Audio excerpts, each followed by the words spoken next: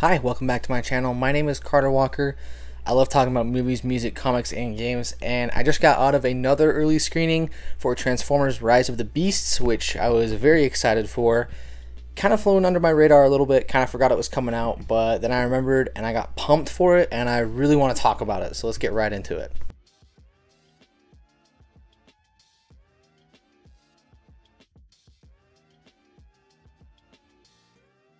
So, starting out with the positives, um, I think you know the biggest thing going into a Transformers movie is if there's a lot of awesome, great, dumb robot action, and yeah, there is. There's a lot of awesome, great, dumb robot action in this movie, and you can kind of just end the review there. That's about it.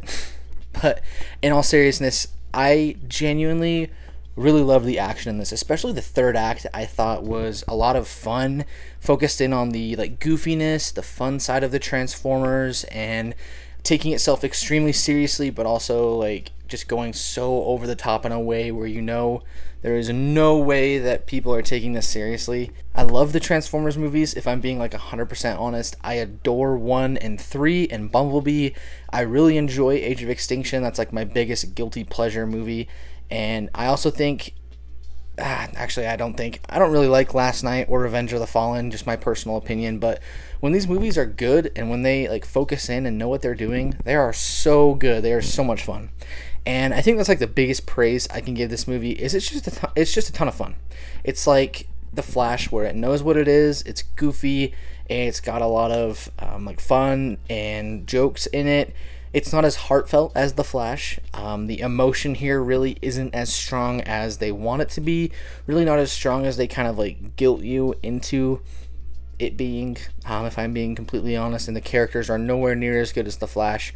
But I think it's maybe a little bit more fun. I, I honestly think that this is probably the most fun Transformers movie outside of Bumblebee because the stakes, well, they are super, super high with Unicron in it it's still like a ton of fun and it just focuses in on the like one liners they have pete davidson as mirage just giving a really great highlight performance in the film. He was hilarious and just focusing in on the fun of the transformers. And something else i really enjoyed in this movie actually is optimus prime. They kind of give him like a character arc which i i really enjoyed. I haven't seen the Last Knight or revenge of the fallen in ages. So I'm not sure if they've really given Optimus a character arc before. I know a lot of his arcs are I don't trust humans. They betrayed us too. Thank you, one human dude. You're goaded. And now that I think about it, that's Optimus's arc in this one. yeah, he does that in this one.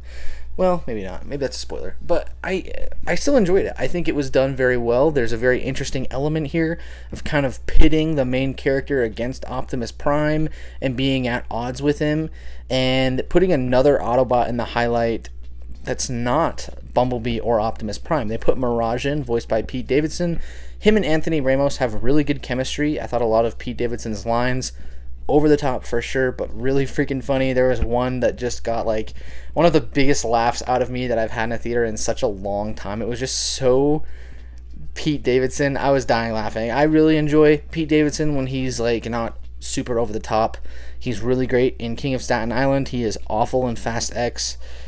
But I thought he was great in this one, and I, I really enjoyed him. I thought his voiceover work was great. As always, Peter Cullen as Optimus Prime is so good here. But yeah, the action great.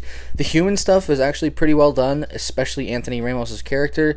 He is given like a great motivation, although it is a little bit weird some choices he makes, but it's really easy to care for him. They give you a really easy reason to care for him with him and his brother. I liked that they devoted time to even set that up. That was surprising. Uh, although it did lose focus in the second half where it just goes into like full on Transformers, less human stuff but I did enjoy it. However, the movie isn't really perfect, and so let's get right into the mixed.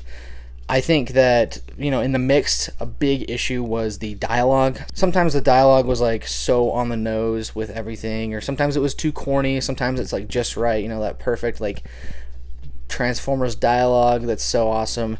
And it didn't, it just felt strange sometimes.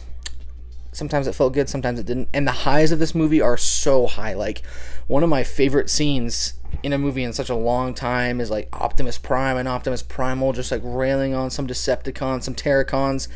And then you just have some lows in this movie, like minutes later, where it's just like a stupid joke, or it cuts back to a character you don't care about. And it's like, dude, uh, you blew it. You blew it. And I think you know that's one of the movie's biggest issues. It's they've kind of always had issues in a lot of blockbusters, just balancing tone and balancing dialogue. And I think that this movie doesn't do it as well as it hopes it would. Um, and another thing that kind of mixed me on here is the pacing is a little weird. It starts out with a really cool action sequence, and then it slows down a ton and crawls for a really long time. It is setting up the characters, which I really enjoyed, and kind of setting up Anthony Ramos. But you know, when it sets up Dominique Fishback's character, she doesn't really have that much of a personality in this movie outside of smart museum history person. And it, it, that's yeah, it's just not good. I'll talk about it in my negatives, but it just wasn't good. Um, but and then the effects most like this is probably the mostly positive. This is 99% positive. The effects were phenomenal. But yeah, that's that kind of wraps up the positive and the mixed.